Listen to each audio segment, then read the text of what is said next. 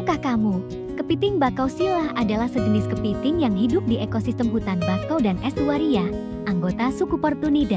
Kepiting yang mempunyai nilai ekonomis penting ini didapati di pantai-pantai pesisir Afrika, Asia, dan Australia. Sebelumnya dianggap hanya memiliki satu spesies, yakni sila serata. Kini kepiting bakau diyakini setidaknya terdiri dari empat spesies. Keempat-empatnya memiliki habitat yang hampir serupa. Kepiting bakau dikenal dengan perilaku uniknya, termasuk gerakan khas saat menggali liang atau mengkomunikasikan diri dengan anggota lainnya. Mereka juga memiliki adaptasi khusus untuk bertahan hidup di habitat mangrove yang sering kali berfluktuasi antara air dan darat.